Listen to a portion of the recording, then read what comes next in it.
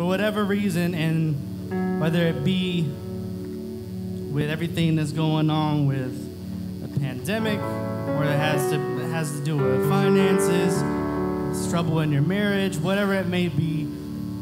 Um, I just want to speak to that anxiety for a minute and just remind you that you know you're right now in this moment you're in the presence of the mind regulator that he doesn't just come in and, and leave you to worry. He doesn't li- he doesn't leave you in a state of you know i don't know what's coming next and i just i'm just so frantic about trying to figure out the next step. He just says you know what? Just be. Just come in to daddy's house sit down prop your feet up relax, take a minute, take a deep breath, and just let all of your worries, all of your cares begin to just wash away. Because the, the blood of Jesus has the same power today that it did back then. It didn't stop with our grandparents, it didn't stop with our parents, but is now present in this time that scripture says that he is present help in time of need. So, right now in this moment, Father, I thank you that we get to come into this place and we get to just call on your name and know that you are just so close. Father, I thank you that each and every breath that we get to take serves as a reminder that you're not done with us yet That you still have purpose for our lives, that you still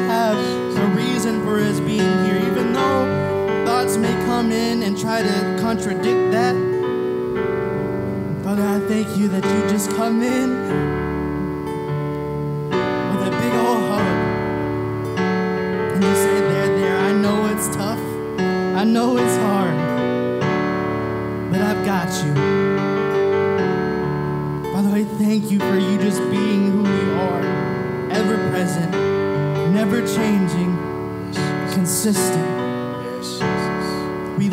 And we praise you for everything that goes on within these walls and outside of them. We pray that no one would leave here in the same condition that they came in, but they would leave renewed, changed, and that they would leave here with a peace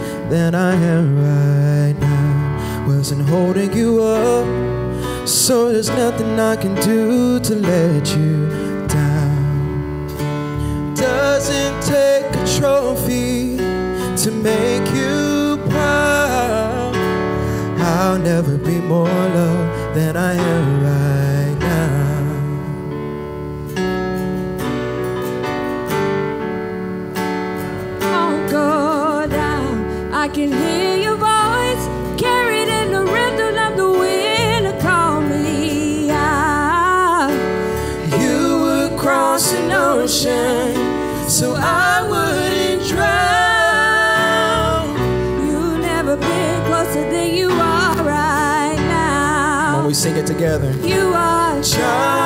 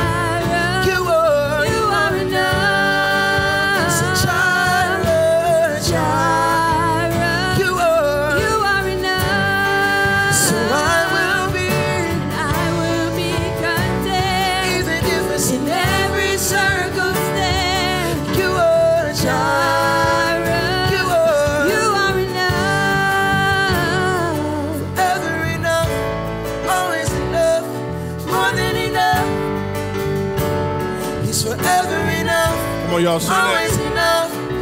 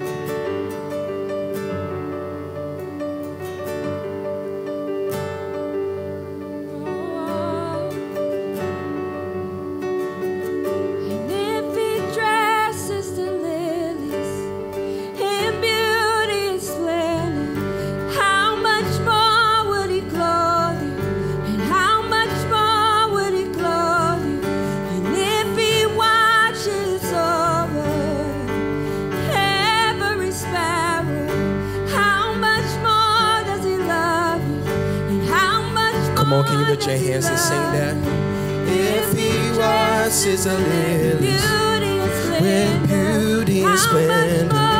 How much more will it clothe you? How much more will it clothe you? If he watches over every sparrow, every sparrow. How much more will he love you? How much more does he love you? How much more does he love you? How much more does he love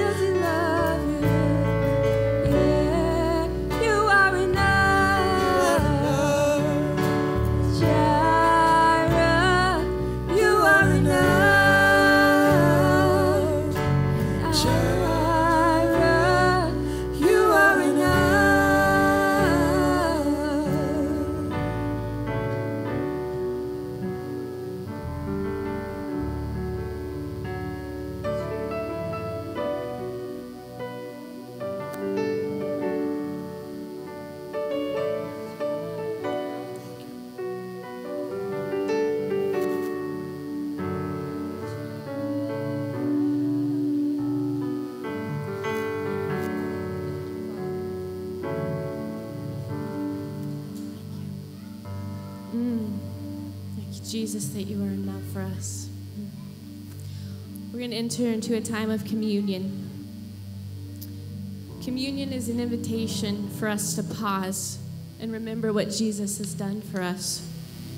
An intentional moment for us to rest in his complete and finished work on the cross. So often it's easy for us to just go through the familiar motions with our hearts disengaged.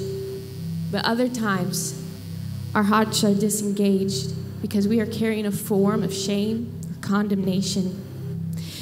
When Adam and Eve ate of the fruit from the tree of knowledge of good and evil, scripture says their eyes were opened and they were afraid because they were naked. Goes on to say that they heard the sound of God walking in the garden, so they hid themselves. But God doesn't leave them in that state. He calls out to them and brings them out of hiding. He provides the first sacrifice and clothes them. Shame and condemnation like to keep us hidden, closed off, disengaged. But just like God didn't keep Adam and Eve in their shame, He doesn't keep us in ours either. Isaiah 53 5 says, Jesus was wounded for our transgressions, or in other words, our actions don't, that don't measure up to God's definition of perfection. The verse goes on to say that Jesus was crushed for our iniquities, or in other words, wrongs done to us. Shame and condemnation, whether it's a result of our own actions or actions done to us, cannot take root in our hearts, our minds, or our bodies. Jesus' body was broken for all of it. We can have peace knowing that He has removed it all. We are covered and clothed by Jesus' sacrifice. We're going to take of the bread just a minute. Before we do that, I just want to pray for everyone in this room, everyone who's watching online and listening. Father God, I thank you so much. God, thank you so much that shame and condemnation, they have no no power, no place in our hearts, in our minds. God, I just pray for right now, everyone in this room, everyone who's watching, everyone who's listening. Holy Spirit, I just pray that you search our hearts, search our minds. If there's any trace that's weighing anybody down of shame, of condemnation, Holy Spirit, I just pray that you go into those innermost steps right now. Command it to go in the name of Jesus. It cannot have place in anyone's hearts, anyone's now. We break it off in the name of Jesus right now. We break it off and we thank you, Father, that you've given, you gave up yourself, God. Not only do we believe that, Jesus, but we receive. We receive your sacrifice. We receive your free gift to us. Thank you, God. We receive and we also remember. Jesus'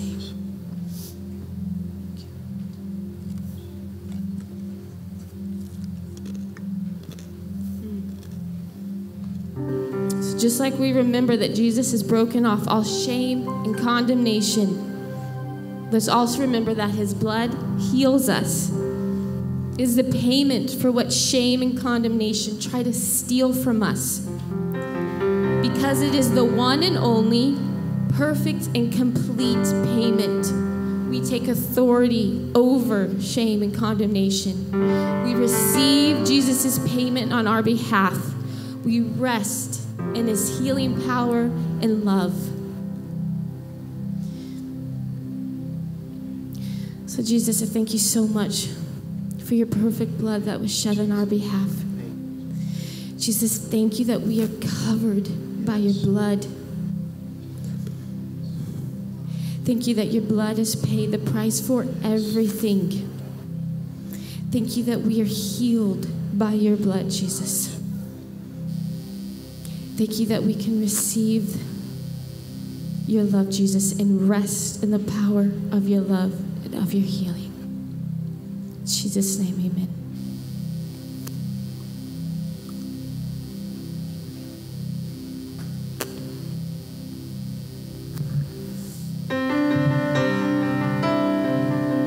Come on, can we just stay in that moment? Come on, if you're comfortable, can you just stretch your hands towards heaven? Just close your eyes and just fix, your heart, fix your mind on Jesus. We just surrender to our Savior, to our Redeemer. Come on, just take a few minutes and enjoy His presence, enjoy His goodness, His faithfulness to us. Oh, Jesus, where would we be without the gift of the cross? Oh, Jesus, who would we be without the gift of the cross? We just lift our eyes, we just lift our hands. We open our ears, open our hearts to your presence, Jesus. Wonderful Savior, wonderful Redeemer. Jesus, we've searched all over and we found none that loves like you love, that gives like you give, Jesus. Who can we compare your goodness to, Lord?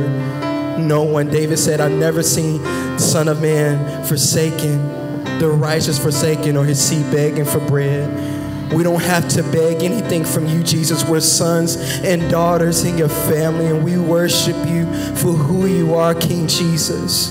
We worship you, King Jesus. Wonderful Savior. Thank you for redeeming us. God, thank you for saving us. Thank you for saving us, Jesus. Oh, God, there's no one like you. Oh, we worship you this morning, Jesus. Oh, we worship you this morning.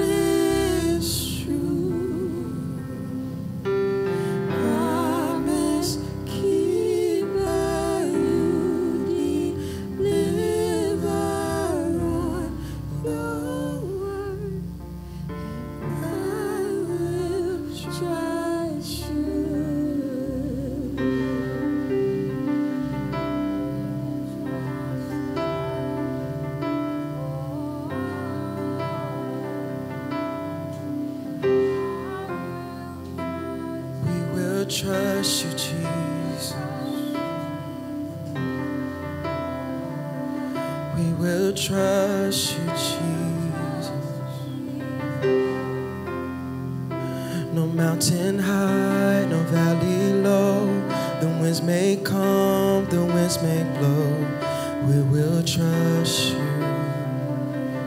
We will trust you. No mountain high, no valley low. The storm may rage, the winds may blow. We will trust you. We will trust you. No mountain high, no valley low. The storm may rage, the wind may blow. We will trust you. Will trust you. No mountain high, no valley low. The storm may rage, the wind may blow. Oh, we will trust you. Oh, we will trust you. No mountain high, no valley low. The storm may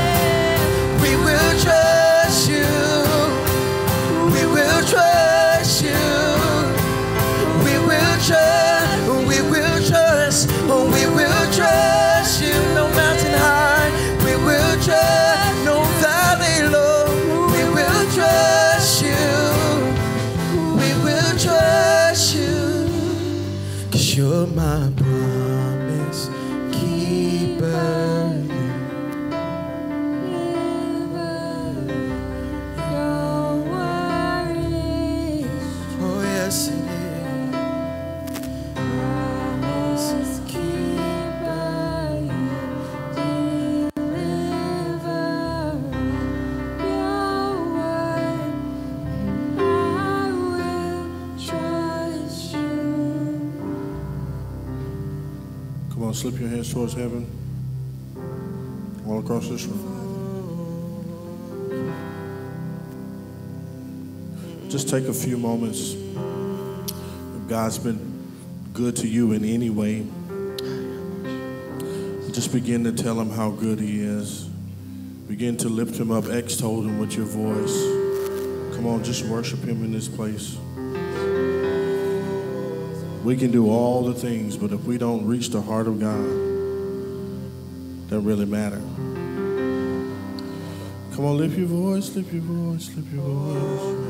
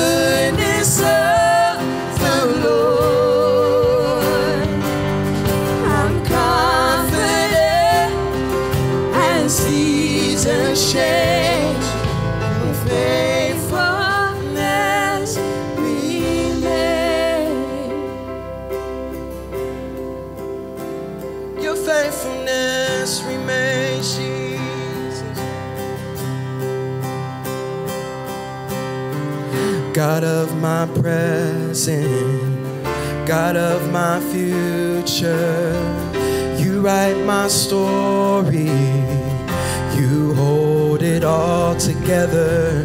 God of my present, God of my future, you write my story, you hold it all together.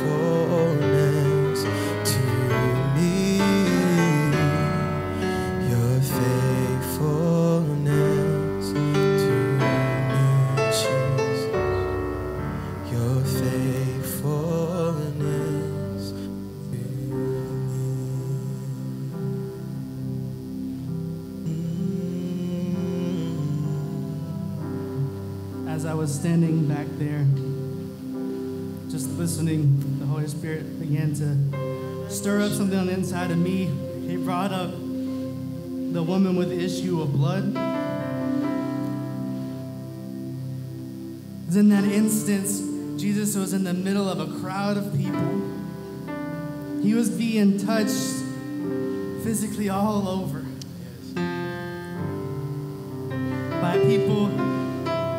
that were wanting something from him, but not necessarily needing something from him. But there was this one woman who had been suffering for years that managed to crawl her way through all of the people that were just there to get theirs. And she said, You know what? I'm tired of living this way, and I've heard that there is a man who's been healing people. And I've got to get to his feet. If I can only touch but the hem of his garment, that'll be enough. And you know what? In that moment, that she finally made way to Jesus and she touched the hem of his garment.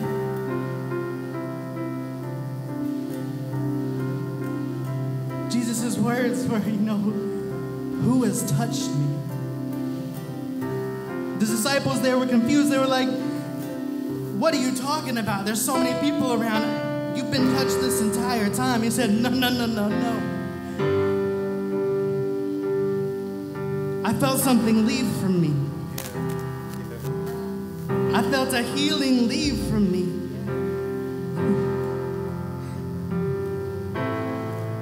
I felt love leave from me to meet somebody who touched me.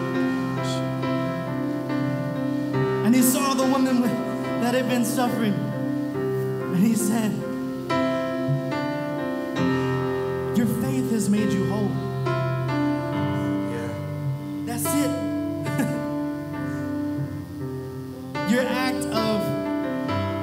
up here was cool.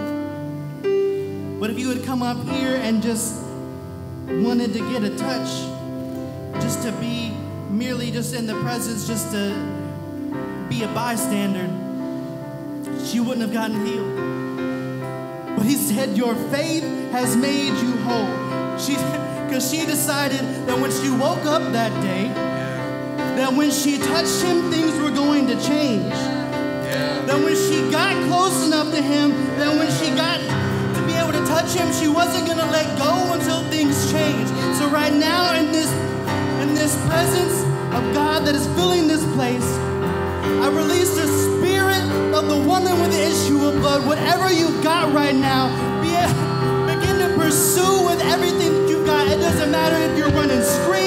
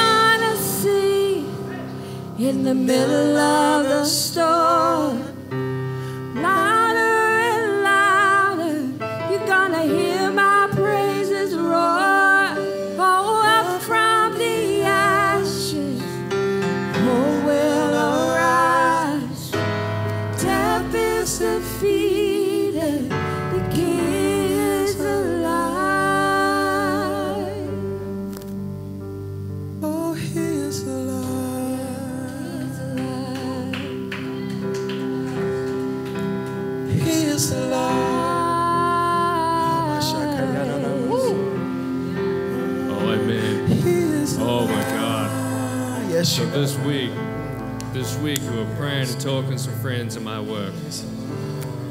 We're talking about how we praise God in all things. We give thanks in all things. In this, this song, in the middle of the storm, I'll sing a little louder. In this song, in the middle of a storm, in the middle of what's going on, in the middle of the crisis, where we hear God the loudest in the Bible, where you see in Job, where you see in the midst of our problems when Jesus moves the most in our defeat. That's where we need to sing a little louder. Oh, that's where we need to praise Him. We need to thank Him. We need to thank Him for what's happening, thank Him for what's coming. We need to sing a little louder in those moments. Oh my God. God, I thank you so much. You so much for this worship. Thank you for this praise. Thank you, God, that we can be here today. God, I thank you for Fred. Thank you for what he's bringing today. I thank you for what you put on his heart. God, I thank you for this series. I thank you for the need to breathe, Lord. I thank you for what you've done. In your name, Jesus. Amen.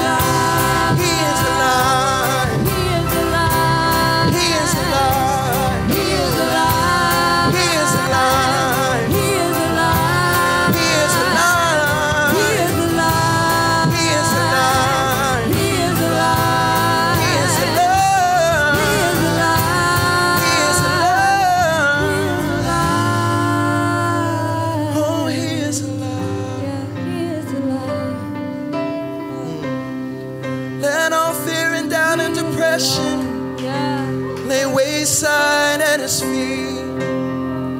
Cause he is alive. He is alive. Oh, my God is big and strong. Oh, he's big and strong and mighty in battle. Whoever you are this morning, I just want to encourage you that you can win. You can win in the Father. If Jesus rose with all power, if he rose with all authority, that same power, that same authority, it lives on the inside of you this morning. No matter what you walked in with, no matter what you came in with, he's reminding you that he is alive in every situation, in every circumstance, no matter what your marriage look like, no matter what your job or your finances look like. God is alive. All he wants is your five fish and two loaves of bread. All he wants is all that you have, because all you have is all you need. All that God wants is your yes. All he wants is your faith, and he wants to prove to you that he is sustaining and that his word is sure and that is strong. That's why we're repeating that he is alive, because no matter what we feel, no matter what we think, God, Abba Father, El Shaddai, the God that is more than enough. Yes, He's Jehovah Jireh. Yes, He provides, but He's El Shaddai. He's the God that's more. God, you're more than enough. Yes, you're alive, God. Oh, He is alive. He is alive.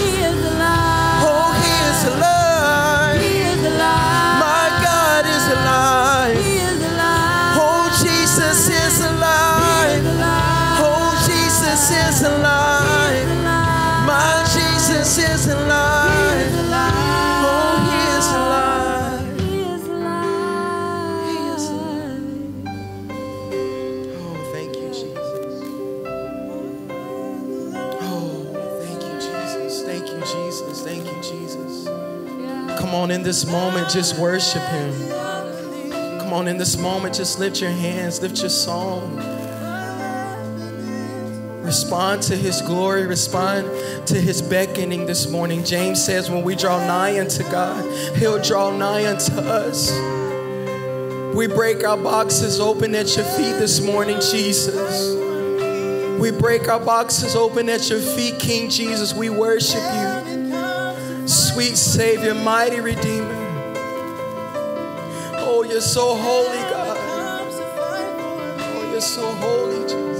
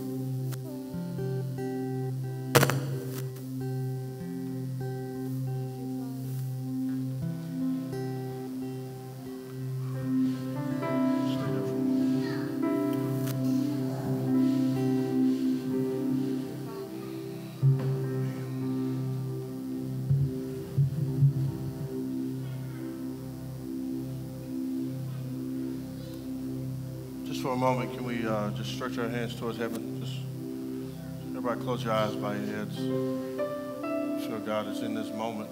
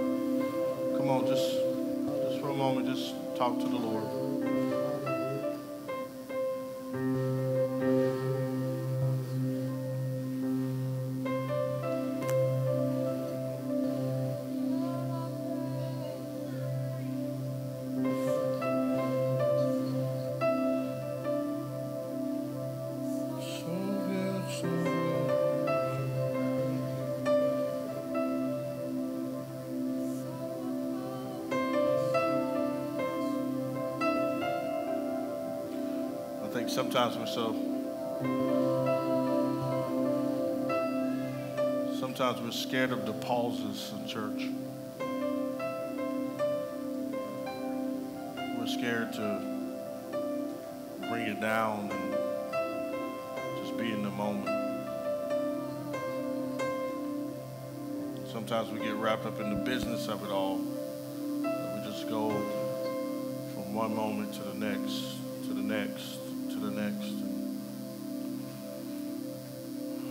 sometimes God wants us just to pause for a minute.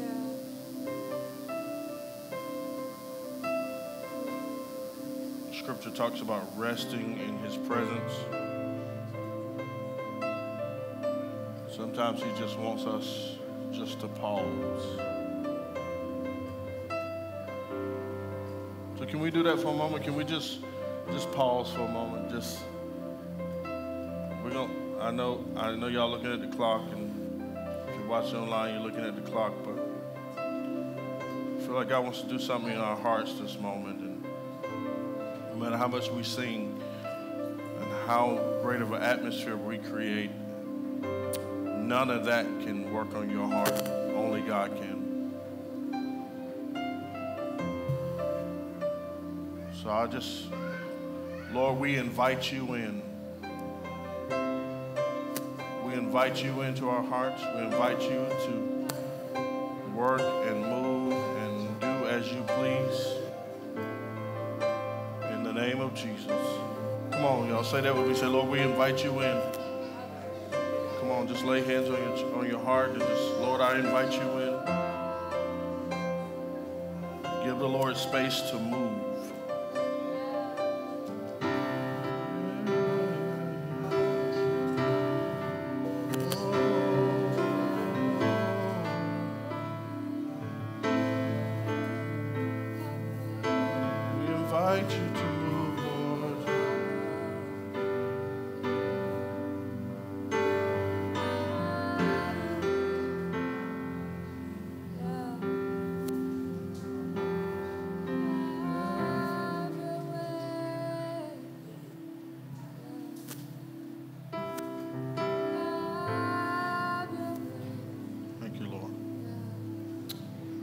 We we love you so much.